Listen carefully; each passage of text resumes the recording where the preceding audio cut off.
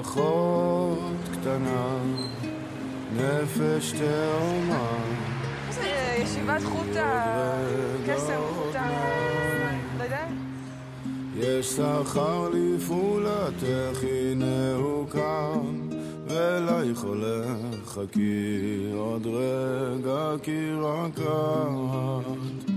גם אני איתך בוכה וכמוך מצפה שבת אחרונה נטויה אצלנו, וזה היה קשה. סליחה? אה, ישיבת חוט ה... חוט המשהו. כן. זה, הבניין הזה? עשיתי הכל ש- שהמרק יהיה מוכן לפני שבת והכל, בסוף לא לא התחשק לו מרק. זה נורא עצבן אותי. אחרי זה גם לא... כי התעצבנתי ואז לא דיברתי איתו כל כך.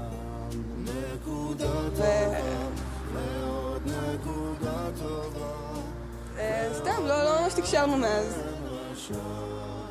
אז אה, עניין אותי להגיע לפה ולדבר איתו.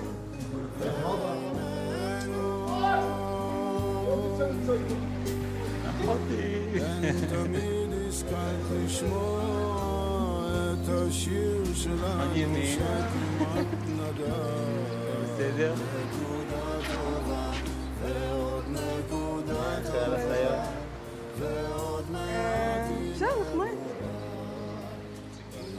את לא יודעת מה זה אומר, רגע. זאת אומרת, אל, אל תדאג, יהיה בסדר. עכשיו, הבנתי, הבנתי. עכשיו, אה, זה, זה לא מספיק לי. אני צריך לדעת שהדברים יהיו בסדר. למשל, כן, אבל מיום שני כבר להילחץ בשביל שבת? כאילו, אם אתה נלחץ כל השבוע בשביל שבת, אז מה... אני לא- בשביל להירגע בשבת, אז... קודם כל, אני לא נלחצתי. טוב, הלחצת את כולנו. לחצתי. אני עשיתי מה שאני צריך לעשות בשביל לדאוג שיהיה לי את מה שאני צריך לשבת הזאת. עכשיו, לא היה לי שום כוונה הקלה ביותר לגרום צער לאף אחד, בטח שלא למשפחה שלי.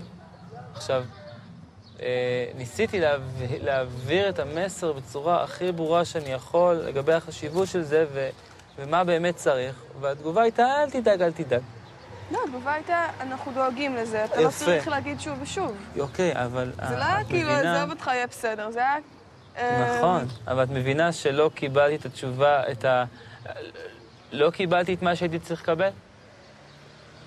לך נראה שלא קיבלת מה שאתה לא, צריך לא, לא, לקבל. לא, לא, אני לא קיבלתי את מה שהייתי צריך לקבל בשביל לבוא רגוע, לדעת שיש לי את מה שאני צריך. טלוויזיה בקולי קולות, ואת הרדיו פתאום באמצע שמדברים דברי תורה, ו... ושאני צריך לאכול בחושך. בסעודה שלישית.